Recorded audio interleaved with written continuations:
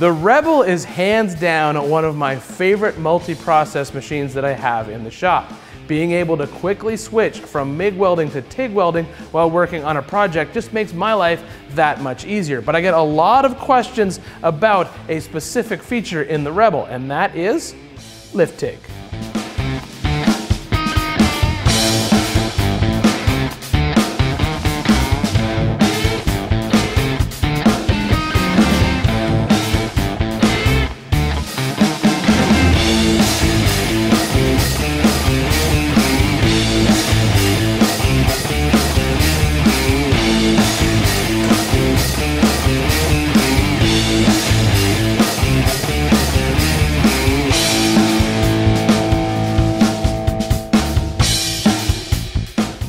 This is where the confusion starts. The lift arc requires you to touch the tungsten to the material. Then you're gonna press the button on the torch and break the contact between the tungsten and the metal. That is what starts the arc. It is not a scratch start where you would drag the tungsten across the metal, and it's not a high frequency start where you would hold it close and then energize the tungsten.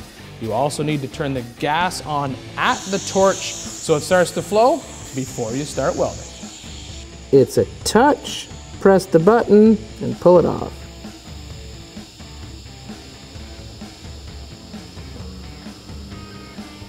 When you want to stop, let go of the button.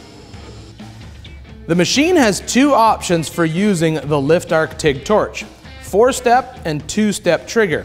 On two-step, you have to hold the button on the torch while you're welding. Four step is a little more complicated.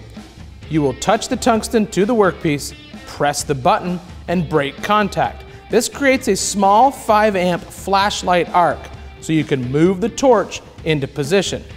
You then let go of the button and the machine will slope up to your welding amperage and you can begin to weld. Press the button again and the machine will downslope to finish out the weld. TIG welding is a very specialized form of welding and it just takes practice to get proficient at it. Here's a quick tip for you though. If you're gonna do a lot of welding with these small coupons in your shop, tack each one of them to your bench before you start welding. It'll just keep them from moving around when you're trying to get a good beat.